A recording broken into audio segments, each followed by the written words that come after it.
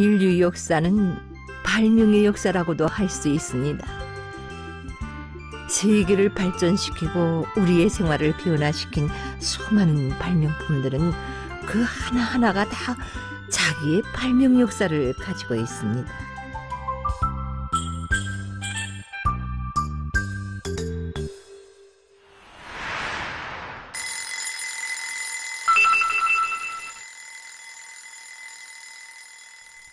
우리들은 하루에도 여러 번 시계를 보며 시간을 알게 됩니다. 시계가 알려주는 시간에 따라서 우리 모두는 밥도 먹고 잠도 자고 공부도 하고 일도 하곤 합니다. 어참, 사람들 사이에 이루어지는 많은 약속들도 시간으로 정하게 됩니다. 만약 시계가 없다면 우리들은 생활에서 아마도 여러모로 많은 불편을 느꼈을 것입니다. 그럼 이 시간에는 시계의 발명 역사를 돌이켜보기로 합시다. 시계의 역사는 수천 년 전부터 시작되었습니다. 먼 옛날 사람들이 처음부터 재고 싶어 한 것이 시간이었기 때문입니다. 그럼 먼 옛날에 사람들은 어떻게 시간을 알았겠습니까? 우린 해가 뜨고 지는 것을 보고 낮과 밤을 알았답니다. 날씨를 보고 계절도 알았지요. 그림자를 보고 시간을 알 수 있지 않을까 생각됐답니다. 시간을 재고 싶어 한 사람들의 노력은 마침내 해시계를 만들게 했습니다.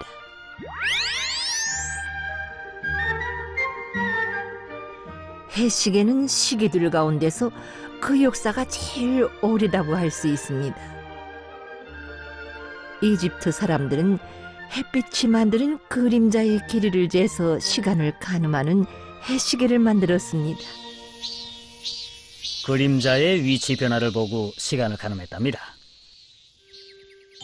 그럼 해가 비치지 않는 밤엔 어떻게 시간을 재지?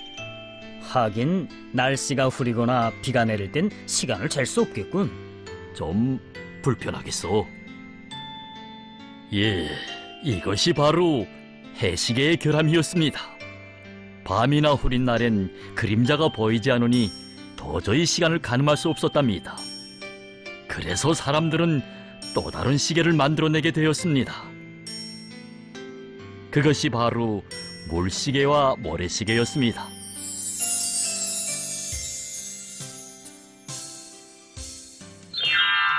기원전 6세기경 그리스 사람들이 만든 이물시계는 밤에도 시간을 알 수 있는 시계였습니다. 그릇 밑에 뚫은 작은 구멍으로 흘러내리는 물의 양에 따라 시간을 재는 기구였는데 물시계 역시 해시계와 마찬가지로 시계의 가장 오랜 형태의 하나로 되고 있습니다. 구멍으로 흘러나오는 물량을 재서 시간을 가늠한답니다. 물의 규칙적인 흐름을 이용했구만요.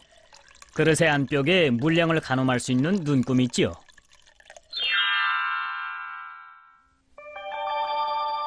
이것은 모래시계입니다. 지금도 목욕탕들에서 가끔 볼 수 있는 시계입니다. 기원전 200년경 중국 사람들은 흘러내리는 모래의 양으로 시간을 가늠하는 모래시계를 만들어냈습니다. 좁은 유리병 사이로 모래가 모두 흘러내리면 종한 시간이 지난 것이랍니다. 하, 이건 모래밖에 없는 사막에서 사는 우리에겐 제격이겠군. 그 원리가 물시계와 비슷한 모래시계는 14세기에 이르러서는 사막 지방들에서 널리 사용했습니다.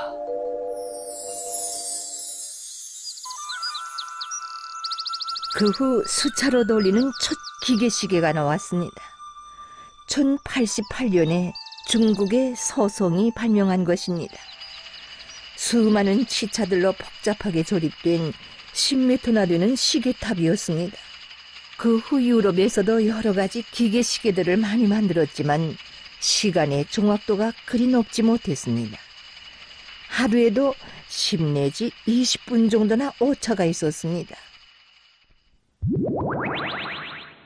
1434년에 조선 봉건 왕조 시계에 이름난 발명가였던 장영실이 여러 기술자들과 함께 보다 발전된 해시계인 앙부 일구를 만들었습니다.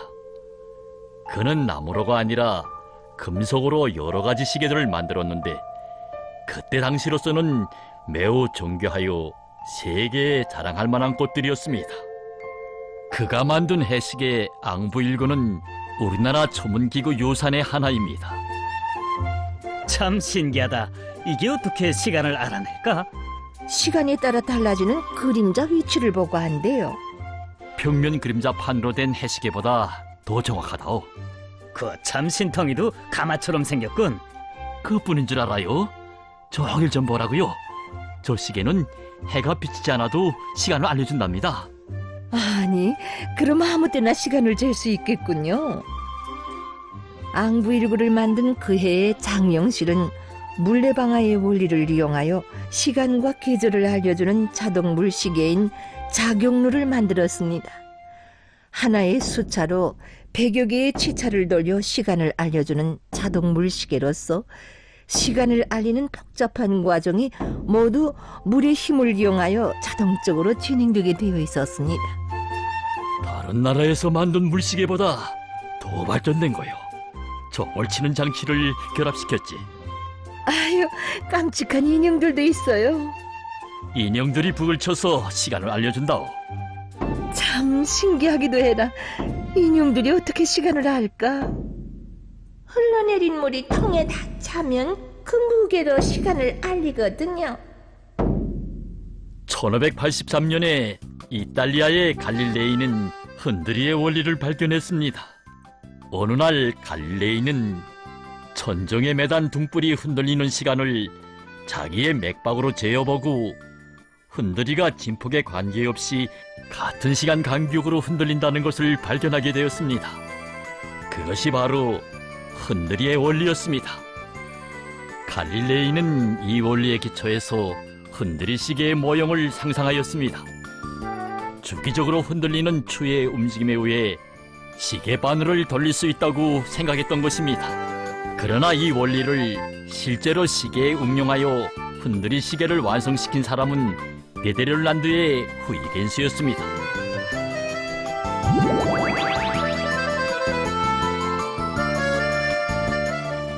(1666년에) 네데를란드의 후이겐스는 흔들이 시계를 발명했습니다. 주기적으로 흔들리는 추가 지차들을 돌려 시계 바늘을 움직였단다. 시간은 얼마나 정확했나요? 하루에 2분 정도 틀렸단다. 당시 시계의 정확도에서 비약적인 전진을 일으켰지. 1669년에 용수철의 튠성을 이용한 태엽이 발명되었습니다. 그래서 후이겐스는 1675년에 또다시 태엽 시계를 만들었습니다. 태엽은 얇은 강철대를 감아 만든 용수철을 이용했습니다. 이 태엽의 탄력으로 시계 바늘이 돌아갔습니다. 그 후 시계는 벽시계, 탁상시계, 회중시계, 손목시계로 발전했습니다. 이 시계는 1767년 영국의 다닐로 칸트가 만든 해중시계입니다. 당시까지는 벽시계가 대부분이었습니다. 해중시계가 나옴으로써 앞으로 손목시계가 출현할 길을 열어놓았습니다.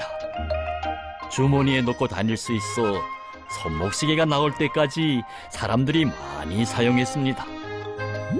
1840년에 영국의 베이는 소리를 울려 시간을 알려주는 전기 자명시계를 발명했습니다.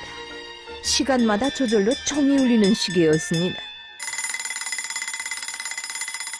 1904년 스위스의 힐스 도르토와 프랑스의 까르띠에가 손목시계를 발명했습니다. 시계를 꺼냈다 놓았다 하지 않아도 돼요. 사람들이 많이 사용했습니다. 1923년 영국에서 자동 손목시계를 발명했습니다. 손을 흔들면 자동적으로 태엽이 감겼습니다. 이때부터 시계의 가지수가 더 많이 늘어났고 그 모양도 가게하게 변했답니다.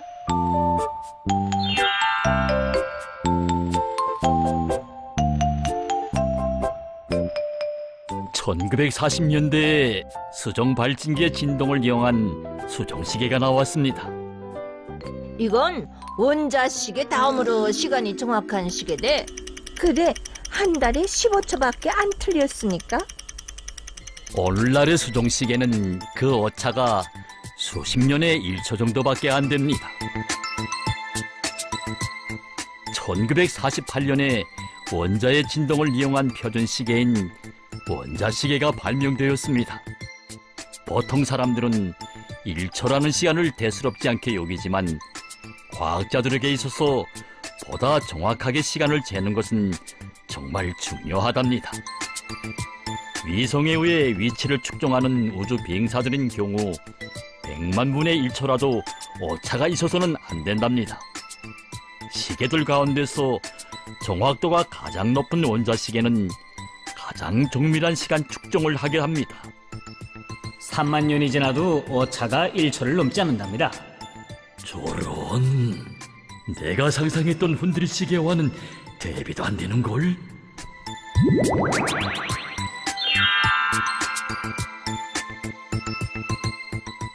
(1955년) 스위스에서 전자시계를 발명했습니다.